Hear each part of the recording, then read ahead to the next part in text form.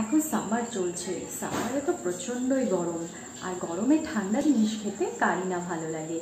তাই আজকে আমি নিয়ে এসেছি একটি লাস্সি রেসিপি। আর রেসিপিটা বানানোর জন্য আমি ম্যাঙ্গো আর জামকে নিয়েছি। তো দেখা যাক কি করে আমি এই দুটোকে একসাথে মিশিয়ে লাস্সিটা তৈরি করলাম। চলুন। লস্যি বানানোর জন্য আমি কিছুটা ফ্রিজের চিল ম্যাঙ্গো নিয়েছি। দেখুন ম্যাঙ্গোর থেকে পাল্প করে নিয়েছি এবং একটি মিক্সন বলে আমি পাল্পগুলোকে দিয়ে, দিয়েছি। তার মধ্যে আমি হাফ কাপ মতো চিনি অ্যাড করব। ম্যাঙ্গো তো এমনিই মিষ্টি হয়, তার জন্য খুব একটা বেশি মিষ্টি না দিলেও চলবে। তার মধ্যে আমি কিছু কাজু কিশমিশ অ্যাড করে নেব এবং এটাকে পুরোটা ব্লেন্ড করে নেব। ব্লেন্ড করার পর আমি এর মধ্যে হাফ কাপ মতো কার্ড অ্যাড করেছি।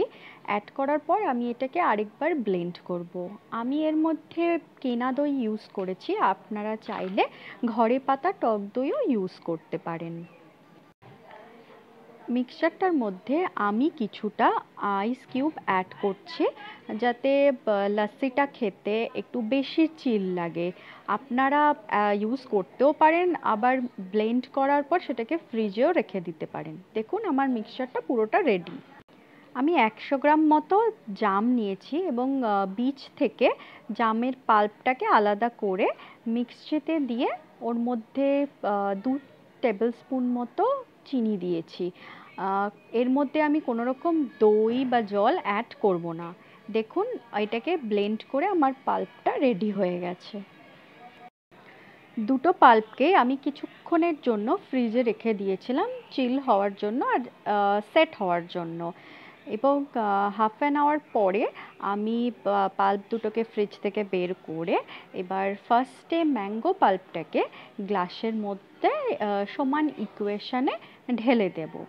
ঢেলে দেওয়ার পর এরপরে আমি এর ওপরে জামের লেয়ারটা আস্তে আস্তে করে চামচ দিয়ে সাজিয়ে দেব।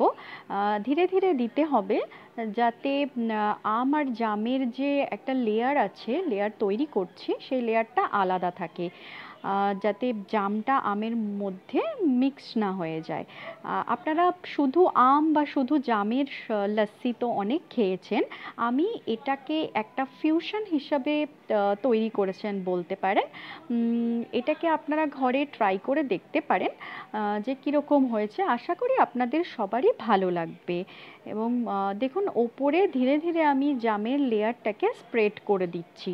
সব দিকে সমানভাবে, যাতে উপরে একটু পার্পলিশ আর তলায় অরেঞ্জিশ একটু কালারফুল লস্যি তৈরি হয়। গরমের মধ্যে এরকম ঠান্ডা লস্যি আশা করি আপনাদের সবারই ভালো লাগবে। রেসিপিটা কীরকম লাগল বানিয়ে দেখবেন এবং খাবেন এবং খেয়ে আমাকে কমেন্টস করতে ভুলবেন না কিন্তু।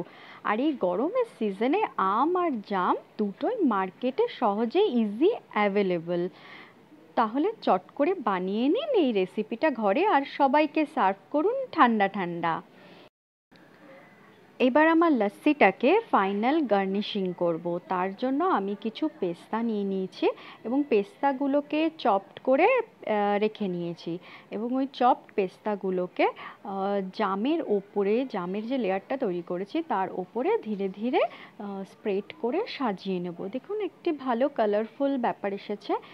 আশা করি এই রেসিপিটা আপনাদের সবার ভালো লাগবে। ভালো লাগলে লাইক শেয়ার অ্যান্ড সাবস্ক্রাইব করতে ভুলবেন না আমার চ্যানেল চ্যানেলটিকে।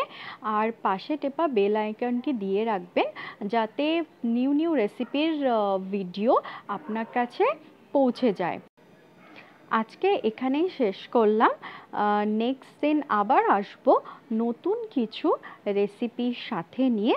ততক্ষণ বাই বাই টেক কেয়ার